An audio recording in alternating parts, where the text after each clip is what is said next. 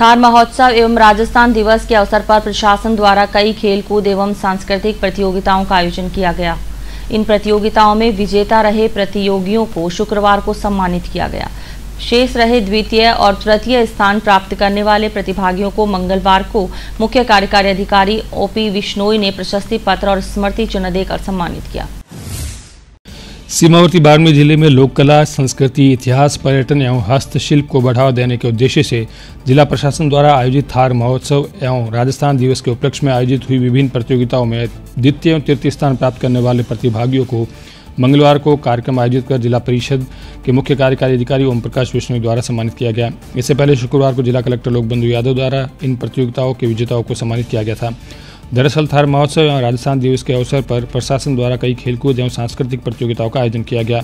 इन प्रतियोगिताओं में द्वितीय एवं तृतीय स्थान प्राप्त करने वाले प्रतिभागियों को सम्मानित किया गया। जिला परिषद के सी ओम प्रकाश बिश्नोई द्वारा इन प्रतिभागियों को प्रशंसा पत्र एवं स्मृति चिन्ह देकर सम्मानित किया गया। करीब नौ साल के लंबे अंतराल के बाद इस बार मार्च माह के अंतिम सप्ताह में थार महोत्सव का आयोजन किया गया था।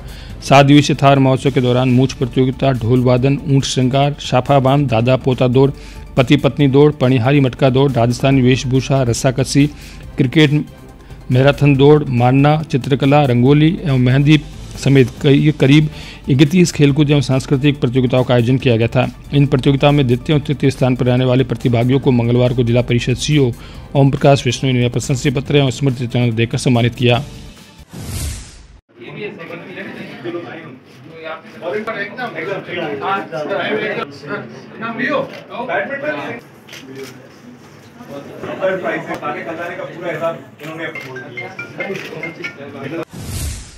करीब नौ साल बाद आयोजित हुए थार महोत्सव में लोक संस्कृति की झलक दिखाई दी। थार के लोगों ने महोत्सव में बढ़ चढ़कर हिस्सा लिया।